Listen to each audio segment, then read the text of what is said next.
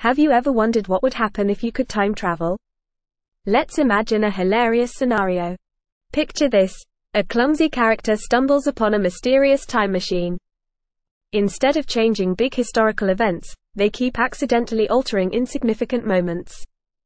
From embarrassing fashion trends to hilarious mishaps, every small change has unintended consequences.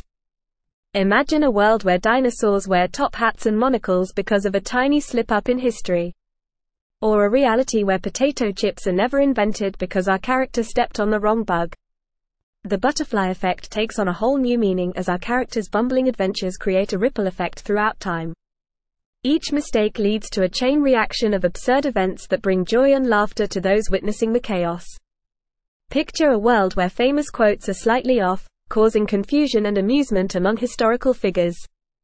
Imagine a scenario where a caveman accidentally invents electricity because of a misplaced item in the past. Watch as our character struggles to fix the time traveling mix up but only manages to make things even more comically chaotic.